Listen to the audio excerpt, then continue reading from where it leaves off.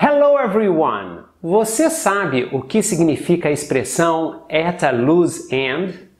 Usamos at a loose end quando queremos dizer que não temos mais nada para fazer e estamos entediados. É uma expressão do inglês britânico. Então vamos ver alguns exemplos.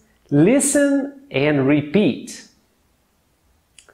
Se eu não tiver nada o que fazer, eu arrumo um bom livro para ler. If I'm ever at a loose end, I look for a good book to read. If I'm ever at a loose end, I look for a good book to read. Me ligue se você não tiver nada para fazer e nós faremos alguma coisa juntos.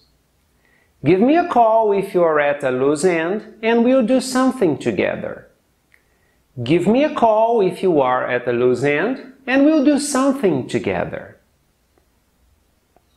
Adolescentes geralmente se envolvem em confusões quando não têm nada o que fazer e estão entediados. Teenagers usually get into trouble when they're at a loose end.